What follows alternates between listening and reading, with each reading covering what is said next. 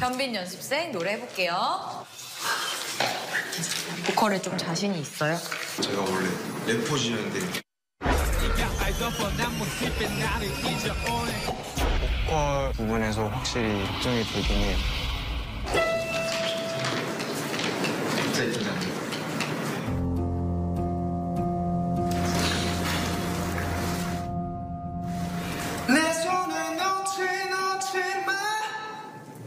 두려워하지 하지 마 절대로 포기하지 마 오케이. 오! 잠이 깬다. 어, 왜냐면 막 고음을 잘하고 뭐 이게 아니야. 노래같이 들리잖아. 너무 좋은데? 알았어요. 어, 너무 좋아. 잘했어요. 어.